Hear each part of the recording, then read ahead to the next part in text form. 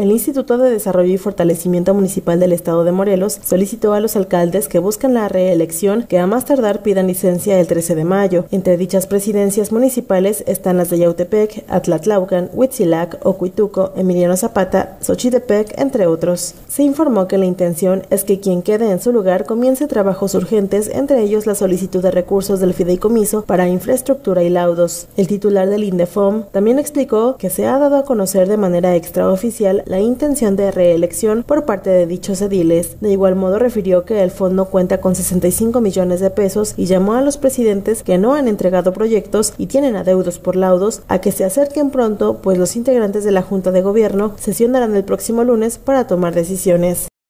Por ello estamos apelando en esta reunión próxima del día 30 de, de abril que estamos generando la próxima reunión ordinaria que se celebrará el día lunes estaremos apelando porque más municipios entren a este beneficio y te expreso al vencimiento de este plazo si no tenemos eh, municipios que hayan ejercido su derecho de petición, estaremos exhortando para que lo hagan y solicitando una prórroga al comité técnico para beneficiar a más municipios.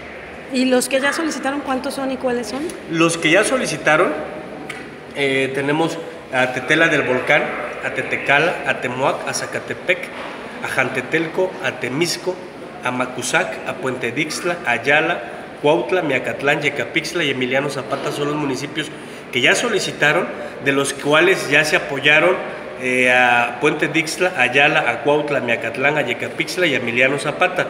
Está en conciliación eh, los demás solicitudes de Tetela, que se está conciliando, de Tecala, Temoac, Zacatepec, Jantetelco, Temisco y Amacuzac. Estos se están conciliando para que puedan tener la posibilidad de igual manera eh, ser apoyados. Con información e imagen de Tlauli Preciado, La Unión de Morelos.